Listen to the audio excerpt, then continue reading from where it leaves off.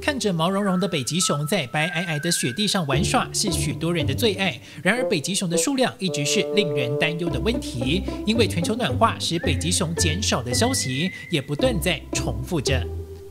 但根据加拿大长期研究北极熊的动物学家苏珊·克罗克福德，最近在加拿大《金融时报》的撰文中指出，尽管危言耸听者一直在传播全球暖化导致北极熊减少，但事实上，北极熊数量非但没有减少，反而正蓬勃发展。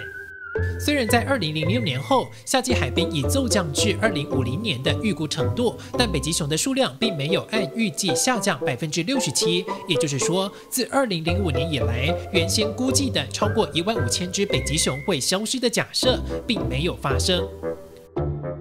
而根据国际自然保护联盟的濒危物种红色名单报告显示，在二零一五年，全球的北极熊数量估计为两万六千只，比二零零五年时估计的两万两千五百只多了三千五百只。如果估计属实，代表北极熊数量不但没有减少，而是略有上升。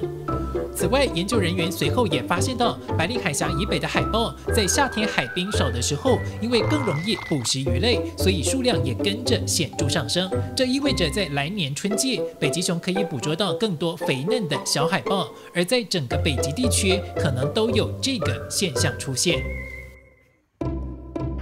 克罗克福德在最近发表的北极熊2017年度状况报告还指出，科学家早在1970年代就发现，从60年代开始，在春季的时候，博福特海南边海域的海冰会以每十年一次的周期发生增厚，使北极熊的主要食物海豹离开该海域，导致当地北极熊数量直线下降。这样的现象在2014到2016年间又再次发生，却遭政治化的学者描绘为是全球变暖造成的而北极熊也长期成为全球暖化现象的假偶像。